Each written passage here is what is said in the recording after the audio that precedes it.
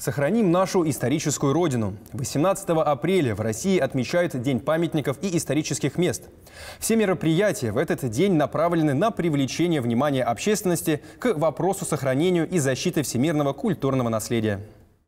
Ежегодно в России уничтожается до 200 памятников истории и культуры. Особняки, скульптуры, бюсты. Многие из них утеряны безвозвратно. Да и те, что остались, остаются незамеченными или, еще хуже, подвергаются актам вандализма. Хотя многие горожане прекрасно понимают, памятник – это часть истории не только для нас, но и будущих поколений. И относиться к нему надо соответствующе. Вы знаете, что я считаю, что к памятнику нужно относиться с низким поклоном. А большинство, мне кажется, просто равнодушно относится. Ну, чтобы люди помнили, не забывали о своей истории, о том, что было когда-то. Мне вот вообще нравится, как красиво с ними как-то ну, приятно по городу гулять, смотреть на памятники. Памятники для чего? Ну как, для того, чтобы э, как память.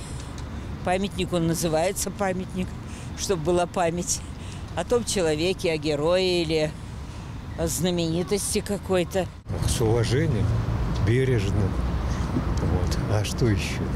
Как можно относиться к памятникам? Это история наша. В будущем история настоящая.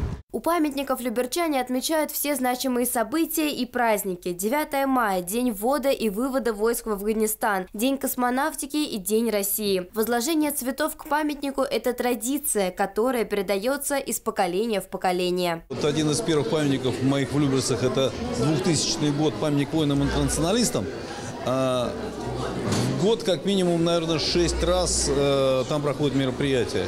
Памятник не просто украшает город, но выполняет свою функцию еще и воспитательную. Э, это очень важно, когда именно э, вот такие разнообразные функции э, скульптурное произведение выполняет.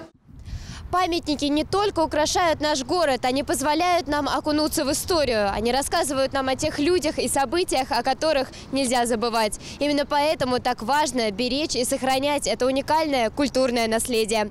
Кристина Манасарян, Дмитрий Шарапов, телеканал ЛРТ.